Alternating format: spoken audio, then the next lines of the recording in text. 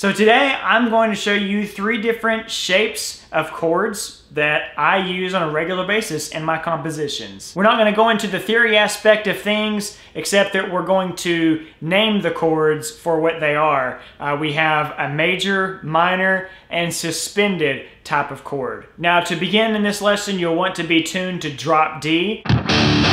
So if you're in standard E tuning you just simply drop the lowest string to the same as the fourth. So jumping right in, let's start with the suspended chord. Start out on the 8th fret and play like you're playing a normal power chord. Just bar the 8th fret. But to play the suspended version, we're going to be playing the 10th fret on the 4th string instead of the 8th fret.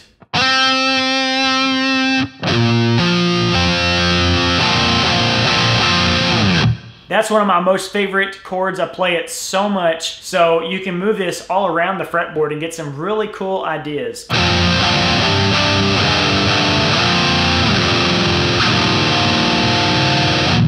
You can go all the way to open two and then just say open, open, two.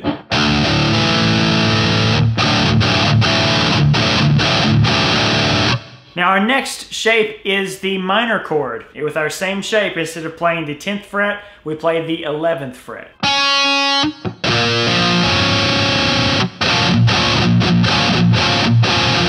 And for this, you may want to use your pinky instead of your ring finger if that's what you were doing before. There's some pretty cool things that you can do with the minor shape, like this.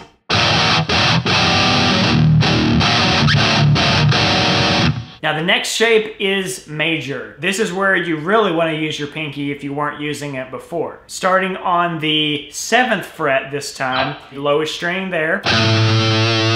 Then with your middle finger you can play the 8th fret the 5th string.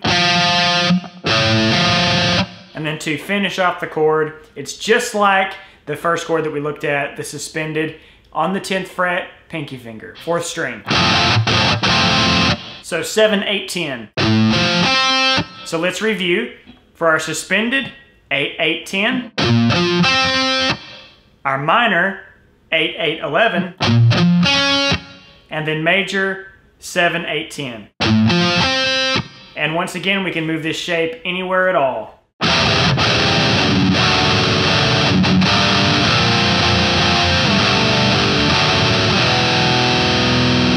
You can mix up these chord shapes even with just normal power chords and get some pretty cool ideas. So definitely feel free to experiment. I've written songs around these types of chords lots of times, and here is one example.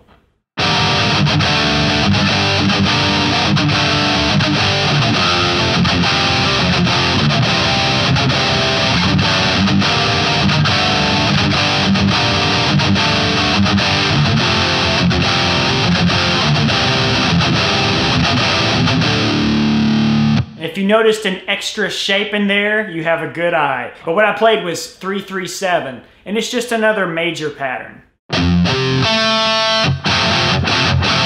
It's really a bit of a stretch, so it takes some getting used to. So anyway, if you guys have any questions at all, please don't hesitate to leave those in the comments and I will definitely help you out any way I can. The main point of this video was just to give you some ideas, so if you want to post your ideas that you've come up with based on this lesson, then feel free to post your link of your video in the comments. Now one last note, if you're having a lot of string noise as you're playing, then check out my most recent lesson on muting, and that's in a card pop out above.